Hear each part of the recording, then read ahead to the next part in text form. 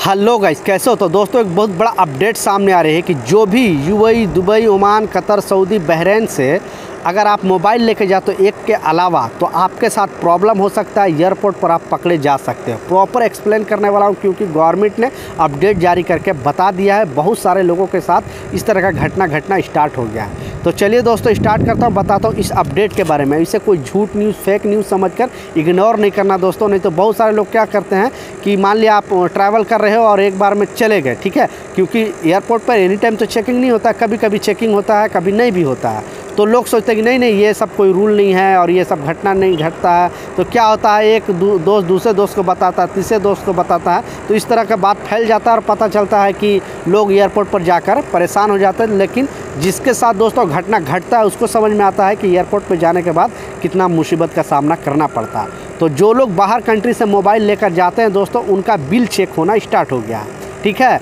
अगर आप एक मोबाइल लेकर जाते हो, दो मोबाइल लेकर जाते हो, अगर तीन चार मोबाइल लेकर जाओगे दोस्तों तो कस्टम डिपार्टमेंट पकड़ा, पक्का पकड़ना स्टार्ट कर दी है। आप पर कस्टम ड्यूटी लगा देगी, आपको टैक्स मोबाइल से ज़्यादा टैक्स देना पड़ेगा। तो मेरा सजेशन आप यू में हो दुबई में ओमान कतर सऊदी बहरीन कहीं पर भी हो तो आप दोस्तों एक से ज़्यादा मोबाइल लेकर नहीं जाना। अगर मोबाइल लेकर जा भी रहे हो तो उसका बिल ज़रूर रखना, क्योंकि बहुत सारे लोगों को इस तरह का रोका जा रहा है, उनसे पूछताछ किया जा रहा है। क्योंकि आए दिनों क्या हुआ था दोस्तों, आपको पता है, जैसे कि दुबई का एग्ज़ाम्पल दे दे रहा हूँ कि एप्पल ठीक है आईफोन 14 प्रो लॉन्च हुआ था तो इंडिया में बहुत कम लोगों को मिल पा रहा था। मतलब सेल मतलब उतना दुकान में नहीं मिल पा रहा था तो लोग क्या कर रहे थे और महँगा भी मिल रहा था।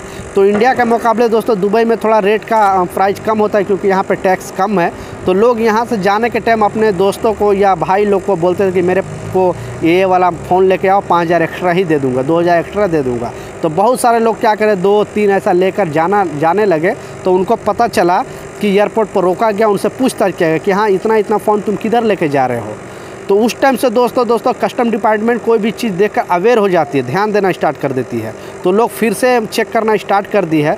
तो ये वीडियो बनाने का मतलब ये है कि आप अगर मोबाइल लेकर जा रहे हो एक से ज़्यादा तो मेरे जो सजेशन है दोस्तों, एक ही मोबाइल लेके जाओ तो बेहतर है, क्योंकि पैसा आप किसी को गिफ्ट भी दे रहे हो तो एक दो दिन तक याद रखता है, दो चार दिन फिर भूल जाता है।